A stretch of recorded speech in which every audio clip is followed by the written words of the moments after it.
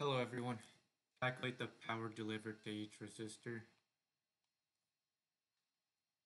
The voltage source, potential source is 24 volts, and that's right here.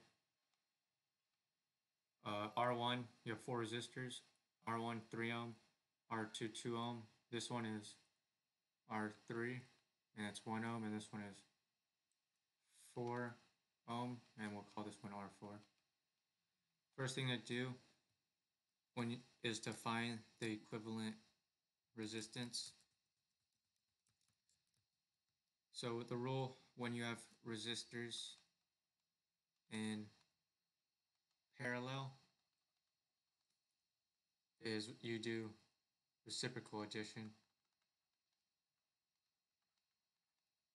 So that's when you do R is equal to 1 over R1 plus 1 over R2 dot dot dot R to however many you have in parallel inverse.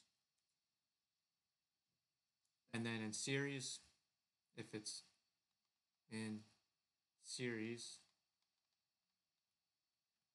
uh, normal addition.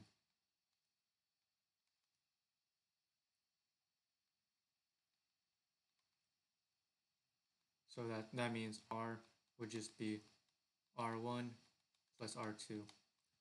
So for this problem, uh, let me go back to the beginning.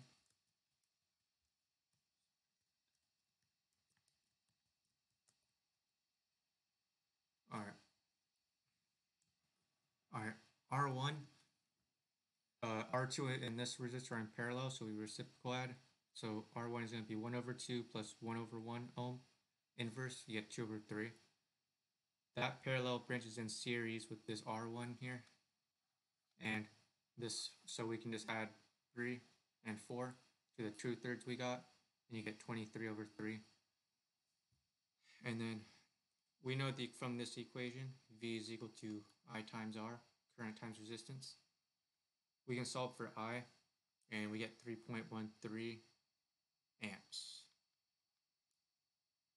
All right, next, now that we know the current, we can find the power delivered to the first and four, the three ohm and the four ohm, because they're in, they get the same amount of current because they're in series. The only parts that, or resistors that get different amounts of current are these two because they're in parallel. They get the same voltage when they're in parallel, but they get, because they get different current, they get different amounts of current because the resistances are different. All right, so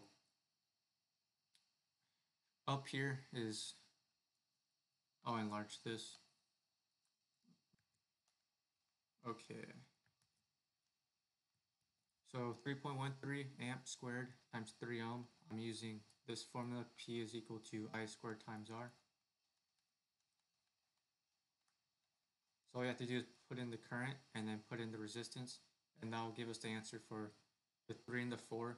But we have to do things slightly differently when we get to the 2 ohm and the 1 ohm because they're wired in parallel. So the current through each of those is,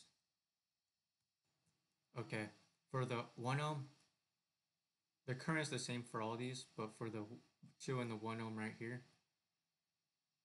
the way you find R is you want to find whatever all them added up together. So 2 plus 1 would be 3. And then if you're trying to find the 1 ohm, you put 2. If you're trying to find the other one, vice versa. So that's why you have 2 here and you have 1.